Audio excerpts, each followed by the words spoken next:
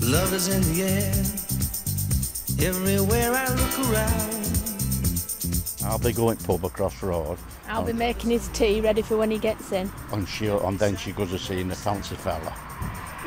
Bed and breakfast for me, obviously, and I'll cook her a nice steak for a tea or something, and romantic chill out. Give her a card and uh,